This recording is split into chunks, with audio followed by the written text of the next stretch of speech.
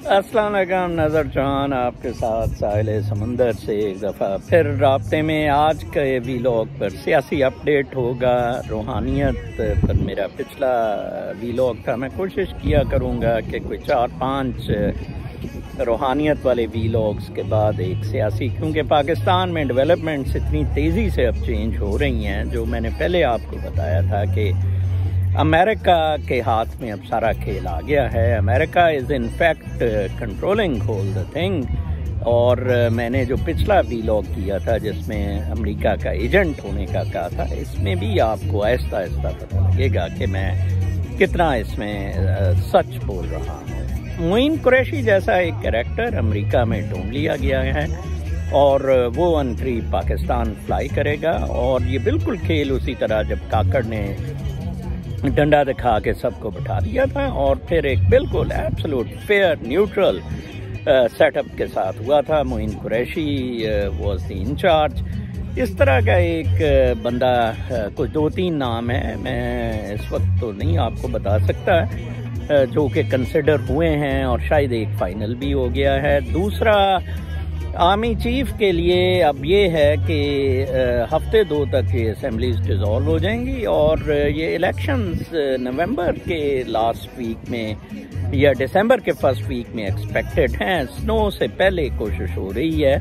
اور اس میں یہ چیز ہے کہ caretaker set up chief بنائے گی۔ دو چیفز پہ جنرلز پہ اس وقت زیرو ڈاؤن امریکہ نے کیا ہوا ہے جنرل فیض حمید اور نعمان ہیں یہ جو ان کے ملٹری ڈیفنس کالج کو ہیڈ کر رہے ہیں دونوں بڑے پروفیشنل سولجرز ہیں اور میرا خیال ہے شاید فیض حمید ہی پک کو لیکن وہ تھوڑے سے کنٹروورشل ہونے کی وجہ سے میں بھی جنرل نعمان اس میں پک کو absolutely independent fair neutral set up ہوگا اور ایک نئی گیم کے ساتھ امریکہ پھر اپنا ادھر اسٹریٹجک سیٹنگس اپنی فیلڈنگس کرے گا۔ Imran Khan would be again there opening batsman here in Pakistan اب آپ کا۔ تو یہ معاملہ چھوٹا سا تھا اور صرف یس چار مہینے پہلے ہوا کیا تھا۔ دراصل باجوہ صاحب نے امریکہ کو پرومس کیا تھا کہ نہیں، آپ ان کو بھی موقع دیں، وہ آپ کے لیے ونڈرز کر سکتے ہیں پرفارم ایسا نہیں ہو سکا۔ کیونکہ ایک تو ان کے پاس کوئی اس طرح جادو کی چھڑی نہیں تھی۔ دوسرا، عمران کے سمپتھی ووٹ عمران کے گرد بہت آ گیا اور یہ پہلے بھی عمران کے ساتھ آر ٹی ایس اور پینتیس پنکچر والی زیادتی تھی۔ اور عمران کی جتنی لیکنگس ہوئیں ساڑھے تین سال میں، وہ ساری اس میں کور اپ ہو گئی تھی جی۔ کہ عمران خان کو انڈیپینڈنٹلی حکومت کرنے ہی نہیں دی میں ادھر آپ کو بتاتا چلوں، امریکہ میں بھی بائیڈن اپنی آخری سانسوں پہ ہے اور ٹرمپ کو دوبارہ لایا جائے گا۔ اور اس سال نومبر میں غالباً چار سیٹیں دور ہے کانگریس میں ریپبلکنز۔ میجورٹی میں اور سینٹ میں ایک سیٹ سے ہیں جو وہ بڑی بآسانی حاصل کر لیں گے۔